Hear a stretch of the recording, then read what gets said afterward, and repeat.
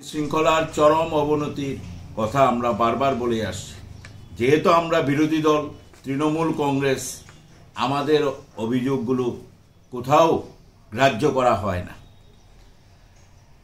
শুধু আমরা নই, এমনকি কেন্দ্রের মন্ত্রিসভার সদস্য নরেন্দ্র মোদীজির মন্ত্রিসভায় আছেন Ramdas Athawale, Republican Party of India, যার সর্বভারতীয় সভাপতি। উনি রাজ্যের ডাইরেক্টর জেনারেল অফ পুলিশ এবং চিফ সেক্রেটারিকে বারবার চিঠি লিখেছেন। ত্রিপুরা রাজ্যের এই রিপাবলিকান পার্টির যিনি সভাপতি সত্যজিৎ দাস ওনাকে বারবার আক্রমণ করা হয়েছে। ওনার পার্টির নেতৃত্ব নেতৃত্বরা এই রাজ্যে আক্রান্ত হয়েছে আমরাও সেই অভিযোগ জানিয়েছি। উনি কেন্দ্রের মন্ত্রী হিসাবে অভিযোগ জানিয়েছেন। কিন্তু এই রাজ্যে রামদাস আটাওয়ালের পার্টিরও নিরাপত্তা নেই। প্রতিদিন রাজ্যে যারা বিরোধী দল, তারা প্রতিদিন আক্রান্ত হচ্ছেন। তৃণমূল কংগ্রেসের উপর তো একটা সর্বগ্রাসী মানসিকতা নিয়ে আক্রমণ করা হচ্ছে। প্রতিনিয়ত দুর্বৃত্তায়ন হচ্ছে। গতকালকেও রামদাস আটাওয়ালের পার্টি রিপাবলিকান পার্টির আমাদের এই রাজ্যের স্টেট ইউনিটের যিনি সভাপতি সত্যজিৎ দাসকে গতকাল রাত্রিতে আক্রমণ করা হয়েছে, আজকে সকালবেলায় আক্রমণ করা হয়েছে। ওনার পার্টি রামদাস আটাওয়ালার পার্টি লিখিতভাবে অভিযোগ জানিয়েছেন থানায়।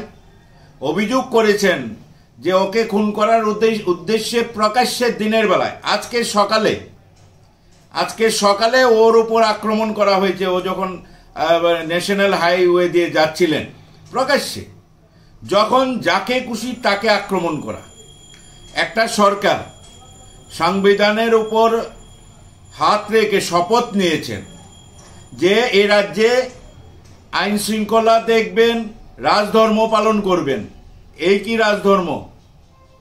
যে যে সরকারের এই বিজেপির সঙ্গে যিনি সরকারে আছেন, সেই সরকারের মন্ত্রী বারবার চিঠি লিখতে হচ্ছে তার দলের সভাপতিকে বাঁচানোর জন্য, নিরাপত্তা দেওয়ার জন্য। আর আজকে এই রাজ্যে পরিস্থিতি কোন জায়গায় গিয়ে দাঁড়িয়েছে? অবিলম্বে এই রাজ্যে কেন্দ্রের হস্তক্ষেপ প্রয়োজন। এখানে প্রতিদিন দুর্বৃত্তায়নে মানুষের নাবিশ্বাস উঠে গেছে। মানুষ অসহায়। রাষ্ট্রীয় শক্তি, পুলিশ, প্রশাসনকে নগ্নভাবে ব্যবহার করা হচ্ছে।